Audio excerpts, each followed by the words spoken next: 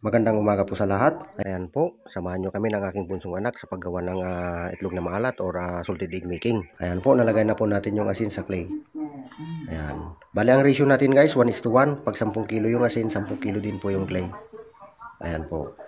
Pag sanay na sanay na po tayo sa paggawa ng itlog na maalat, kahit hindi na natin timbangin yung clay at saka yung asin guys, matatansya na natin yung karami ng ating ilalagay.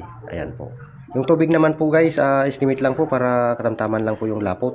Para pag sausaw natin ng itlog, kapit na kapit talaga yung clay at saka yung asin sa shell po ng itlog. Ayan. Pag sobra kasi yung ah, tubig guys, sasama sa pagtulo yung asin at saka yung clay. Ayan po. Yung asin naman guys, hindi naman talaga matutunaw yan lahat. Mararamdaman po natin yung garas ng asin. Ayan po. Ang importante guys, mamix lang natin lang maayos para pantay po yung distribution ng asin sa clay. Ayan guys, ah, nasa process na po tayo ng ah, pagsasawsaw ng itlog sa clay guys na may asin. Ayan po. Tulad ng ah, ginagawa ng aking ah, bunsong anak guys. Ayan po. Bago po tayo maglagay ng itlog doon po sa plastic container guys, siguraduhin natin nakalagay po tayo ng ah, tila or something na malambot doon sa pinakailalim ng plastic container po natin para po hindi magka-crack yung mga itlog natin sa ilalim. Ayan po. Mabigat po kasi yung itlog pag ah, mapuno na yung ating plastic container. Ayan po, ipapile po natin yan na- ng 21 days above para po sure tayo na pang stock talaga yung itlog natin guys. Ayan. 21 days above guys, pwede nang hugasan yung itlog at ah, lutuin ng 4 to 6 hours para sure po tayo na mag-oily yung ating ah, itlog na maalat. Ayan po. Pagluto na yan guys, ah, pwede nang i-stock ng ah, 30 days. Hindi pa mabubulok yung itlog natin.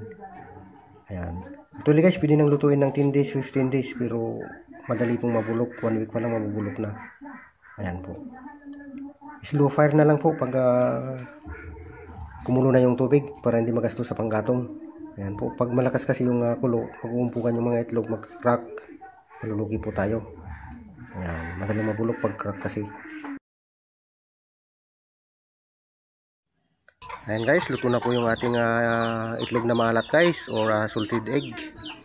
Ayan po, naiahon ko na po sa kaldero yung ating mga itlog. Ayan po. Kasi po guys, pag ah, hindi po naiahon sa kaldero guys, mapapasok po tayo kasi po mainit po yung ah, tubig sa kaldero. Tsaka mahirap pong i-drain yung ah, tubig pag may laman na itlog guys. Ayan. Tsaka dapat ingatan po natin yung ating itlog. Ayan, baka magka-crack. Yan, iba po yung presyo ng crack egg. Ayan, malulugi po tayo guys. Mas madali po kasi nga mabulok yung itlog pag ah, napasukan na ng tubig guys. Ayan po. Kaya, ayun. Dapat nating ahunin sa kaldero yung mga itlog upang ah, mas madaling ah, i- i-pile sa ating ah, tray. Ayan po.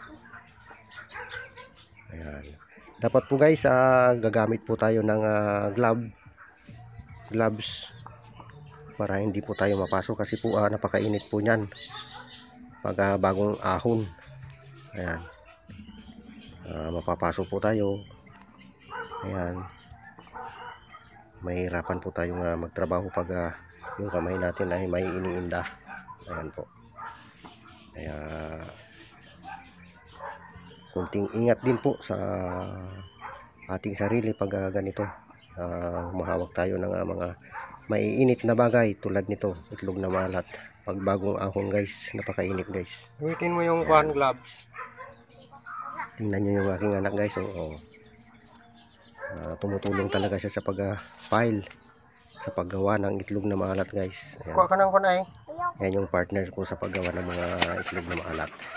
Ayan guys, ah, ready for ah, delivery na po tayo sa ating mga suki, sa mga tindahan, sa mga palengke, sa mga talipapa guys. Kung minsan guys, may nag-wholesale po sa atin na nagsusupply sa mall guys. Okay guys, salamat po sa panonood at mabuhay po tayong lahat. God bless.